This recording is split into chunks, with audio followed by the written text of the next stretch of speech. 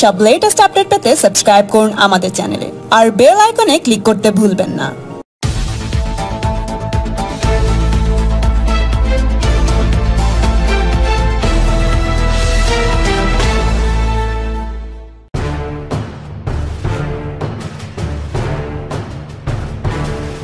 সমস্ত দুর্নীতি কলকাতায়, সমস্ত জালি লোক দু- কলকাতায়, সমস্ত ভ্যাকসিন কলকাতায়। আর গ্রামের দিকে লোক হাহাকার করছে নাহলে পয়সা দিয়ে কিনতে বাধ্য হচ্ছে। বাকি কেন্দ্র সরকারের কি বলেছেন দ্বিতীয় প্রশ্ন? তিনি বলেছেন যে পশ্চিমবঙ্গের নাম পরিবর্তন করার জন্য তিনি প্রস্তাব পাঠিয়েছেন দীর্ঘদিন হয়ে গেছে বিধানসভা বহু প্রস্তাব পাঠান প্রত্যেক ছ মাসে একটা করে প্রস্তাব পাঠাচ্ছেন। সব যদি মেনে নিতে হয় তাহলে পশ্চিমবঙ্গটা ভারত থেকে আলাদা হয়ে যাবে। আমার মনে হয় এইসব চিন্তাভাবনা করছেন কেন্দ্রে চিন্তাভাবনা করার লোক আছে তারা চিন্তাভাবনা করে দেখবেন। আপনারা কি নাম আপনারা কি নাম পরিবর্তনের পক্ষে না বিপক্ষে? আমরা বিপক্ষেই আছি। তাই আমরা জানি পশ্চিমবঙ্গ ইতিহাসের সঙ্গে যুক্ত আছে শ্যামাপ্রসাদের সঙ্গে যুক্ত আছে তাই তাকে পরিবর্তন করার কথা হচ্ছে। পশ্চিমবঙ্গের সমস্ত প্রাচীন ইতিহাসকে ভুলিয়ে দিয়ে নতুন পশ্চিম বাংলাদেশ তৈরি করার যে চক্রান্ত চলছে সেটাই তার এইগুলো এক একটা স্টেপ সেই দিকে সি এর বিরোধিতা সেই জন্য। এই ধরনের সমস্ত ঘটনা হয়েছে। মমতা ব্যানার্জির সঙ্গে নীতি পরম্পরা ঐতিহ্য সংস্কৃতি কোনো সম্পর্ক নাই। তো দিলীপ দা মমতা বন্দ্যোপাধ্যায় আজকে দেখা করার পর বলছেন কি তিনি আগামীকাল সোনিয়া গান্ধীর সঙ্গে দেখা করবেন। আজকে কংগ্রেসের কয়েকজন নেতা তার সঙ্গে দেখা করে গেছেন।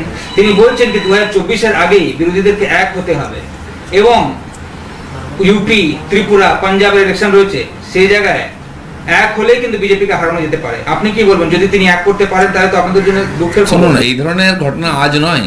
সিপিএম যখন পশ্চিমবাংলায় ক্ষমতায় ছিল তারা এই দায়িত্বটি নিচ্ছিল হরকিষণ সিং, সুরজিৎ সকাল থেকে উঠে লোকের বাড়ি থেকে কোথায় চা খেতেন, কোথায় নাস্তা করতেন, কোথায় ভোজন করতেন, এটাই করতেন উনি। এই করতে করতে সিপিএম শেষ হয়ে গেছে। বিরোধীরা এক হয়নি। হওয়া উচিত। ভালো কাজের জন্য যদি এক হওয়া উচিত, শক্ত বিরোধী থাকলে সরকারও ভালো কাজ করতে পারে। কিন্তু এই ধরনের যারা নিজস্ব, নিজের খালি পার্টির স্বার্থ আর রাজনৈতিক স্বার্থ ছাড়া কিছু বোঝেন না, তাদের কাছে দেশ গৌণ, তারা কখনো এক হয়ে মোদির বিরুদ্ধে লড়তে পারবে না, এটা অন্তত আমি মনে করি।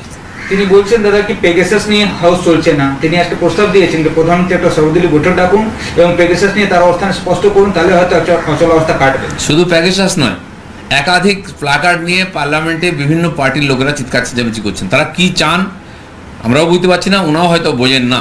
নিজেদের ইস্যুকে দিয়ে আর প্রচার চাইছেন। কেউ কেউ পার্লামেন্টের বাইরে সেখানে দেখি প্লাকার্ড নিয়ে দাঁড়িয়ে আছেন, সেখানে রোল ব্যাক কালা কানুন ইত্যাদি প্লাকার্ড দেখছি আমরা। তো সেই জন্য কোনো একতাও নেই, আর কোনো উদ্দেশ্য নাই, কোনো বৃহৎ উদ্দেশ্য স্বার্থও নাই। কেবল নিজের নিজের পার্টির এজেন্ডা আর নিজের নিজের পার্টির মাইলেজের জন্য হচ্ছে। আমাদের পার্টির যারা সংসদীয় মন্ত্রী আছেন, মাননীয় প্রহ্লাদ যোশী, তিনি পার্টির সমস্ত পার্টির নেতাদের সঙ্গে কথা বলেছেন এবং বলছেন। মাননীয় মেঘওয়ালজি, তিনিও লেগে আছেন, এইসব কথা বলছেন। চেয়ারম্যান রাজ্যসভা, তিনিও কথা বলছেন যে কী চান, যাতে সংসদ চলে ঠিক মতো তারা শুনতে রাজি নয়, তারা চলতে যেতে রাজি নন কেবল হাঙ্গামা করতে লেগে আছেন। সেই জন্য দেখুন, প্রধানমন্ত্রীর প্রথম দিন মাননীয় নূতন মন্ত্রীদের পরিচয় করাতে যাচ্ছেন এটা একটা রীতি, সেটাও করতে দেওয়া হয়নি, তার মানে বোঝাই যাচ্ছে ওনারা কী চান। লাস্ট কোশ্চেন রয়েছে এনএচআরসি নিয়ে রিপোর্ট দিয়েছিল হাইকোর্টকে এনএচআরসি এখন পশ্চিমবঙ্গ সরকার আজকে হলফনামা দিয়েছে হাইকোর্টে, তারা বলছেন কি এনএচআরসি যাদেরকে রাখা হয়েছে, তারা সব বিজেপির মেম্বার এবং ভুল প্রমাণ তথ্য সেখানে দেওয়া হয়েছে। কাদেরকে কীভাবে গুন্ডা চিহ্নিত করা হয়েছে, সেসবও ভুল করা হয়েছে। এই ত্রুটিগুলো তারা তুলে ধরেছেন আজকে হাইকোর্টের হলফনামায়। আপনি কি বলবেন? দেখুন, এই ধরনের কমপ্লেন যদি ওনারা নিতেন ওনাদের পুলিশ নিত থানা নিত, তাহলে এনএচআরসি বা অন্যান্য কমিশনে যাওয়ার দরকার ছিল না। আমাদের কাছে যে যে তথ্য এসছে, বা মানুষ যে যেভাবে পীড়িত হয়েছেন, তারা ডাইরেক্ট গিয়ে এনএচআরসির সঙ্গে গেছেন। তারা বলেছেন যে তিনশো এগারোটা স্পটে গেছেন। সাধারণ লোকের সঙ্গে দেখা করেছেন ডাইরেক্ট কথা বলে তাদের কাছ থেকে অভিযোগ নিয়েছেন। রাজ্য সরকারের দায়িত্ব আছে তারা তদন্ত করে দেখুন সত্য কি মিথ্যা। আর হাইকোর্ট বা সুপ্রিম কোর্টের আদেশ এগুলো হচ্ছে। এটা বিজেপির আদেশে বা সরকারের আদেশে হয়নি। সেই জন্য যদি কোর্টের উপরই আদেশ তাদের বিশ্বাস না থাকে তাহলে তো গণতন্ত্রই চলবে না। জিজ্ঞেস করুন দাদা সংশোধিত দাদা সংশোধিত নাগরিকত্ব আইন পিছিয়ে গেল ছ মাস। আজকে সংসদে বলা হয়েছে যে আরও ছ মাস পরে এই আইন কার্যকর করা হবে বা লাগু করা হবে। কি বলবেন? ঠিকই আছে যেহেতু করোনা কোভিড চলছে প্রশাসনই চলছে না ঠিক মতো সেই জন্য এই ধরনের একটা আইনকে ইমপ্লিমেন্ট করতে হলে যে ধরনের প্রসেসের দরকার আছে সেটা হতে পারেনি। সেই জন্য সময় নিচ্ছেন আজও কালো হবে। আচ্ছা, হ্যাঁ, জিজ্ঞেস করুন। দিল্লিতে একটা প্রশ্ন যে আজকে লোকসভার ভেতরে তৃণমূল কংগ্রেসের সাংসদরা তারা খেলা হবে স্লোগান তুলেছে। এর আগে তারা বলেছিল এমনটাই আজকে তারা কিন্তু করেছে লোকসভার ভেতরে। কি বলবেন? না বুঝতে পারছি আমরা খেলা হবে বলতে গিয়ে কি করতে চাইছেন পশ্চিমবাংলায়? যখন প্রায় এক লাখ লোক ঘর ছাড়া ছিল, যে ভয়ঙ্কর অত্যাচার হয়েছে, বাড়িঘর ভেঙে দেওয়া হচ্ছে মহিলাদের অত্যাচার হয়েছে, এই যদি খেলা হবে, নমুনা হয়, তো সারা ভারতবর্ষের লোক এটা নিয়ে শঙ্কিত। আর খেলা হবে দিবস হিসেবে যে দিনটাকে ওনারা ঘোষণা করেছেন, ষোলো আগস্ট, ইতিহাসে আমরা জানি একটা কলঙ্কময় দিন, যে দিনটাকে গ্রেট ক্যালকাটা কিলিং হিসাবে চিহ্নিত হয়ে আছে এবং সুরাবর্তী দেশ ভাগের জন্য যে দিনটাকে ডাইরেক্ট অ্যাকশন ডে ঘোষণা করে সাম্প্রদায়িক হিংসার মাধ্যমে পশ্চিমবঙ্গকে ভাগ করেছিল বঙ্গকে। আর সেই দিনটাকে তারা মনে করিতে চান। তাই আমরা বারবার বলছি, এরা পশ্চিম বাংলাদেশ বানাবার চক্রান্ত করছেন। ইতিহাস আবার তার সাক্ষী হয়ে গেল। তাদের বাইশ জন লোক গেছিল কাজ করতে।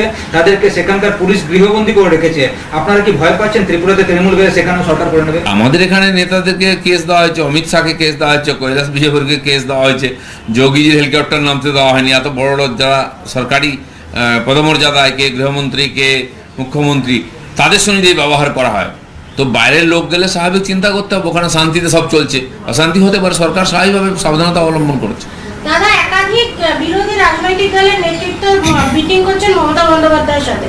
কমলনাথ থেকে শুরু করে আগামীকাল সোনিয়া গান্ধীর সাথে বৈঠক আছে। কি বলবেন? তৃতীয় জোট বা দ্বিতীয় জোট তৈরির একটা সমস্ত পার্টিগুলি এখন অস্তিত্বের সংকটে ভুগছে।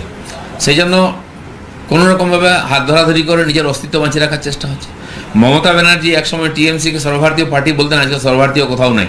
যেখানে যেখানে ছিল সেগুলো গুটিয়ে গেছে। সেখানে ওখানকার স্থানীয় পার্টিদের ধরে কোথাও একটা এমপি সিট কোথাও একটা এমএলএ সিট নিয়ে জিতে এসে নিজেদের সর্বভারতীয় রূপকে তৈরি করার চেষ্টা করছেন। সেজন্য এই যে পরস্পরের আদান প্রদান কেবল অস্তিত্ব রক্ষার জন্য।